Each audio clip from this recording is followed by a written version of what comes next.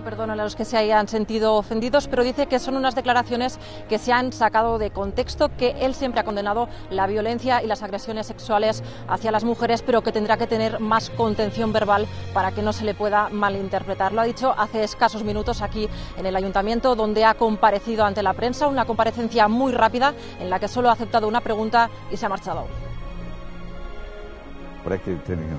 mayor contención verbal, desde luego, para evitar